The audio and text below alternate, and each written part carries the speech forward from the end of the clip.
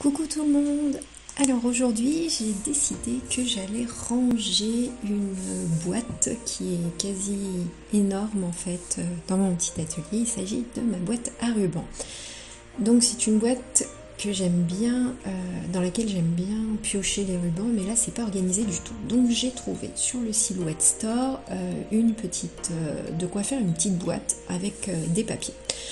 Donc j'ai pris des papiers euh, action que j'ai découpé avec ma machine de découpe, donc la silhouette. Euh, il y a quatre petites pièces pour mettre sur l'extérieur et il y a une pièce centrale qui compose donc la boîte.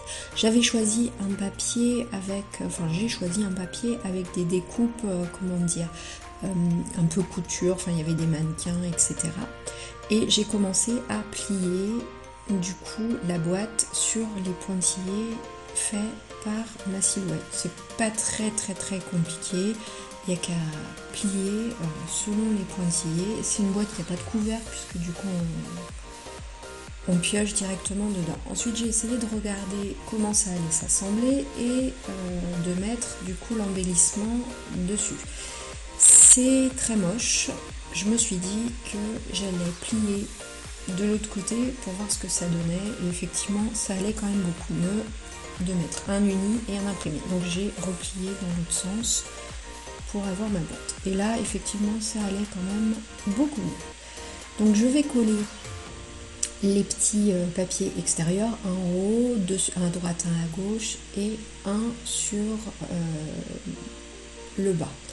J'ai utilisé un roller à colle, euh, d'ailleurs que je testais. J'avais acheté ça chez Action pour un mois de 1 euro. Je voulais voir comment ça, se comportait parce que ça coûtait assez cher ces petits rollers. Euh, et en fait, eh bien, il colle super bien et il se déroule vraiment sans appuyer. Donc il est assez sensible. Et je suis, bah, franchement, pour moins d'un euro le, le, petit roller à colle, génial quoi. Super. On va voir euh, après à l'usage euh, s'il passe vite ou si quand même le dévidoir est assez important. Mais pour l'instant, euh, la colle elle est vraiment forte. Je verrai aussi si ça dure, si ça dure dans le temps.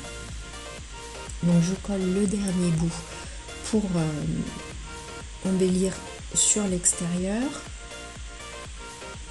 Et ensuite, je vais pouvoir passer, je vais coller les languettes sur les côtés pour passer au montage de la boîte. Donc j'en colle les petites languettes pour le devant. Je replie tout, je colle et voilà, on a déjà le devant de coller, il nous manque juste l'arrière de la boîte. Donc j'utilise euh, un tapis de colle pour éviter de mettre de la colle partout sur ma table. Et donc il faut que je nettoie le tapis de colle qui commence à être un petit peu sale. Donc voilà, la colle, franchement, elle tient instantanément. J'ai dû décoller un tout petit peu pour repositionner, euh, ça le faisait. Et ça tient franchement très très bien. Pas de souci. Ensuite, avec... Euh, donc voilà, très bonne... Euh, en tout cas, très bonne prestation de ce petit roller à colle. Après, avec le fichier donc, que j'avais acheté sur le Silhouette Store, il y avait également les petits intercalaires sur lesquels, euh, enfin les petites cartonnettes sur lesquelles vont venir euh, les rubans. Donc euh, bah, j'en ai, découpé plusieurs et puis bah, j'ai commencé à enrouler mes rubans.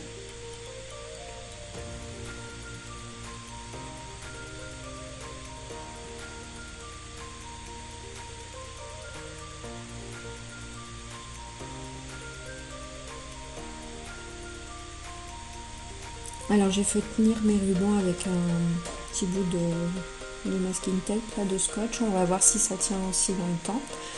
Puis bah après j'ai un petit peu continué comme ça euh, pour toute la boîte. Alors comme les intercalaires sont assez larges, euh, peu importe au final la dimension, euh, la largeur du ruban, tout, passait. Et comment dire, les rubans où j'avais le plus de longueur, j'en ai fait vraiment un par, par cartonnette.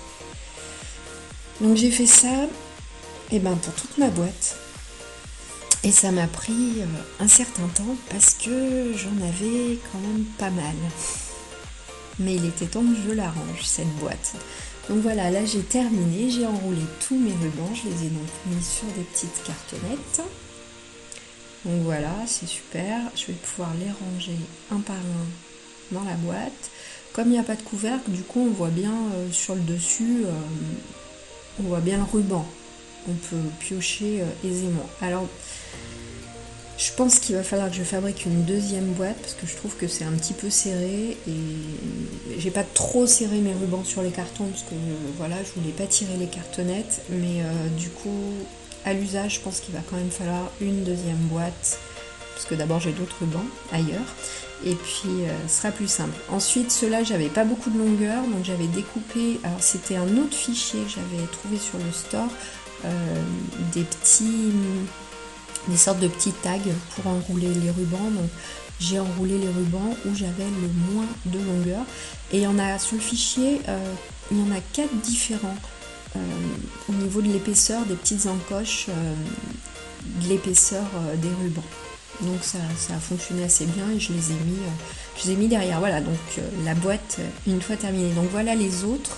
Donc il y a pour des rubans très larges, des rubans moins larges, et puis bon, bah, ceux qui étaient avec le fichier. Donc je les ai mis au dos de la boîte, mais je pense que je vais très certainement, comme je le disais, faire une deuxième boîte. Et voilà, tout est rangé. Donc je n'ai pas eu besoin de mes petits clips, j'ai juste eu besoin de mon roller à colle Action, mon plioir et du masking tape. Donc